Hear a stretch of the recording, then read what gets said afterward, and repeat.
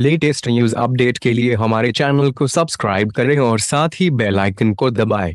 नई दिल्ली, अभिनेत्री प्रियंका चोपड़ा और उनके पॉप स्टार पति निक जोनास अमेरिका में नस्लभेद के खिलाफ आंदोलन में शामिल हो गए हैं और उन्होंने जॉर्ज फ्लॉयड के लिए न्याय मांगा है। निक ने ट्विटर पर लिखा, प्रियंका और मेरा मन काफ़ी भारी है। इस देश में और दुनिया भर में असमानताओं की वास्तविकता झलक रही है। प्रणालीगत नस्ल भेद, कटरता और बहिष्कार बहुत लंबे समय से चला आ रहा है, और मौन धारण किए रहना न केवल इसे मज़बूत बनाता है, बल्कि इसे आगे बढ़ाने की अनुमति देता है। अमेरिका के आसपास हो रहे ब्लैक लाइव्स मैटर के प्रदर्शनों के बीच निक ने कहा कि उन्होंने इक्वल जस्टिस इनिशिएटिव और अमेरिकन सिविल लिबर्टीज यूनियन के लिए दान दिया है। उन्होंने कहा एक्शन लेने का वक्त अभी है।